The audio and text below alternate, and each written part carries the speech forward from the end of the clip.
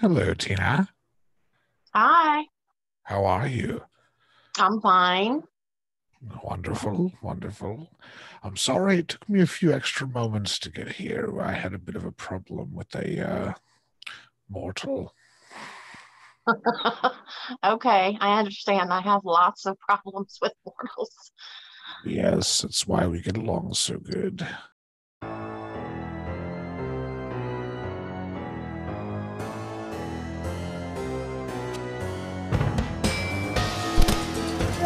Uh,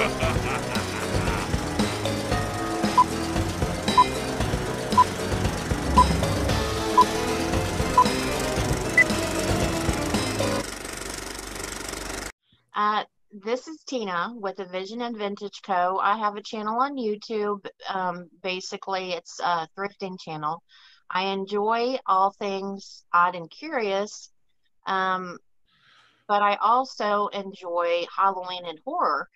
And for um, as many years as I can remember, I have enjoyed watching horror movies as a teenager. My girlfriend and I, on a Saturday night, that's what we would do. We would hang out at the video store and try to find as many selections as we could to bring home and, and watch that evening for fun. So there's a new channel on um, YouTube. He's just started. He's he's got a handful of videos, but I think he is going to be big. And I really enjoy um, his content, and I think you will too. Um, it's called Ehrlich the Gore Lord, and basically he is a combination of um, kind of like a Siskel and Ebert, a little bit of Elvira, and a little bit of uh, the Crypt Keeper from the Creepshow. Um, if you like that type of stuff, then you're going to love his show.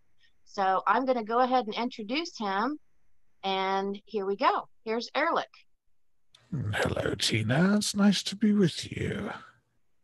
Can you give everybody a little bit of background of what your goal is on your YouTube channel and, and why you decided to do it? Of course. Well, you'd have to understand that uh, in light of this uh, viral outbreak, uh, people seem a bit starved for new content, and I found myself willing to help. So I have emerged from the depths of the underworld, at least to make these lovely little videos on the subject of horror. And I've decided to give them something a bit different. Definitely different. And that's why I like it so much. And it is definitely a throwback, I think. So I think a lot of people that are my generation, some earlier, maybe a little later, are probably going to really enjoy your content because, you know, you do poke fun, a lot of fun at some of these videos, things that most people probably would not recognize. You point out in some of these videos, and some of them you wonder why, why didn't I notice that?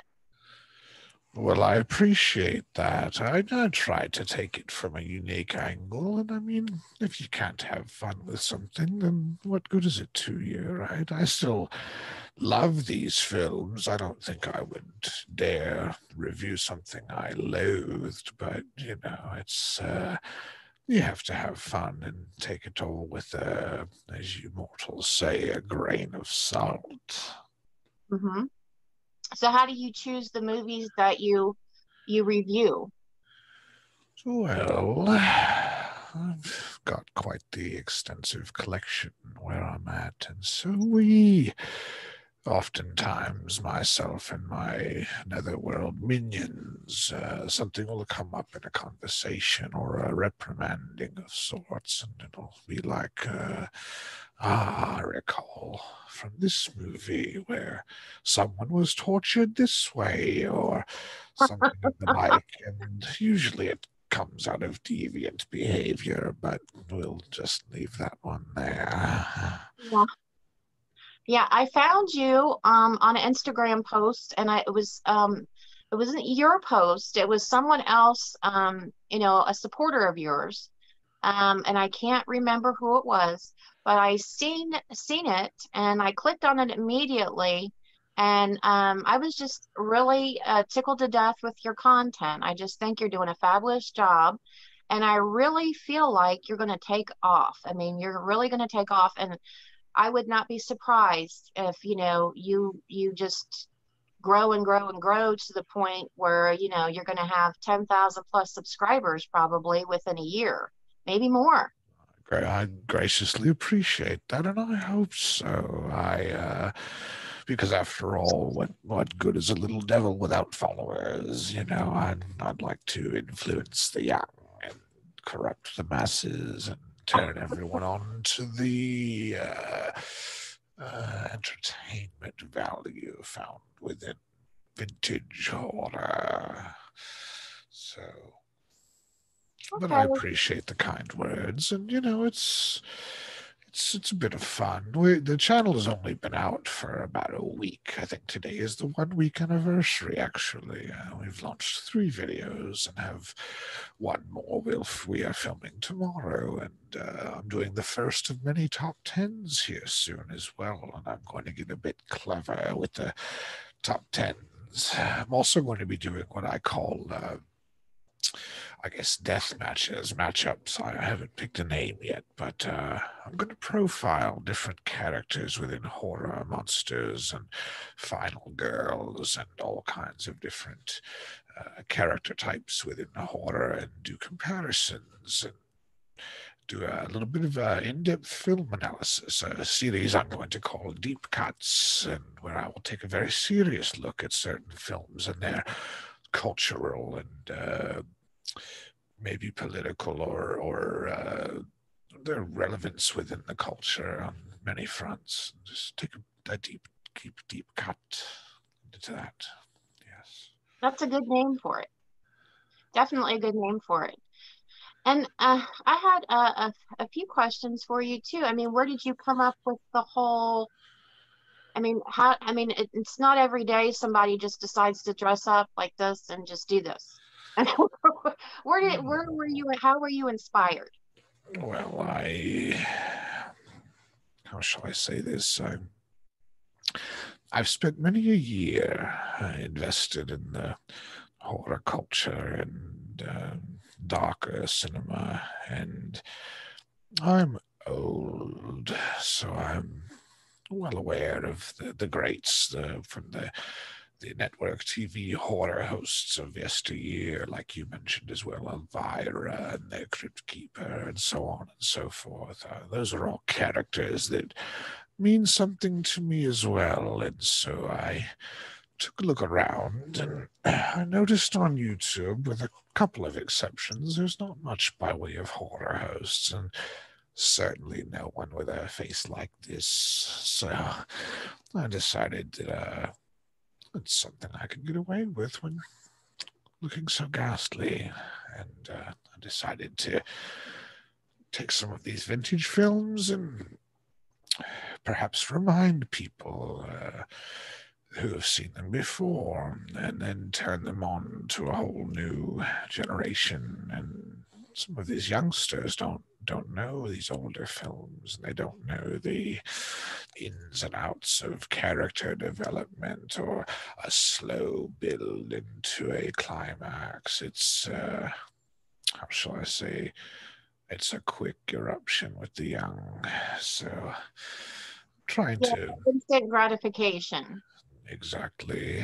So, I think maybe touching on some of these older films uh, gives them a sense of what came before and if they can stomach not having a on the screen kill every 39 seconds and there might be something to appreciate even in the grisly ones you know my first one was uh, blood sucking freaks which is a film that not just anyone can watch it's quite disturbing and you know, so I'm, I'm setting the bar pretty high. yeah. Yeah, and I just, I mean, they redid Freddy Krueger and they redid, I mean, I don't know how many uh Jasons they've had and Halloween and all that, but are you planning on covering ones like that? Or are you going to go more geared towards the ones that weren't so much in the spotlight?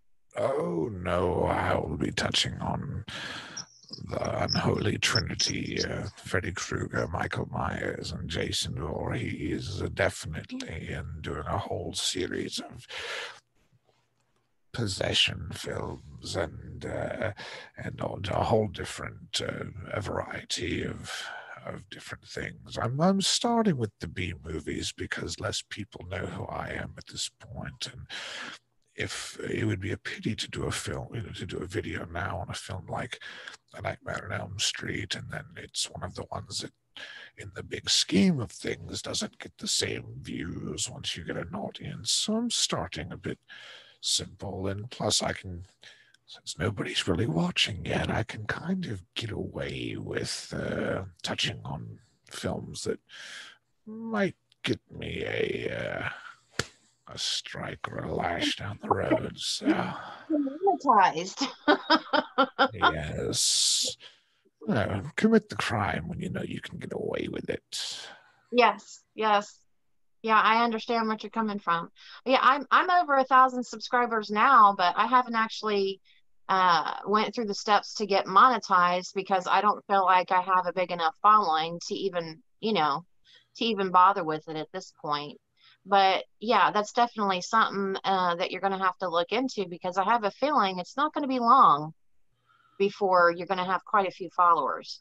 So i appreciate that. I, I think what i'm probably going to do i've i began setting up a page on patreon and uh, that's one way to get a, a few uh, ducats in the tip jar, as you say, without needing to go through the act of monetizing only to be demonetized and struck down. So I may avoid that altogether. I haven't decided yet, but I appreciate your encouragement. It's it's very heartwarming. Thank you.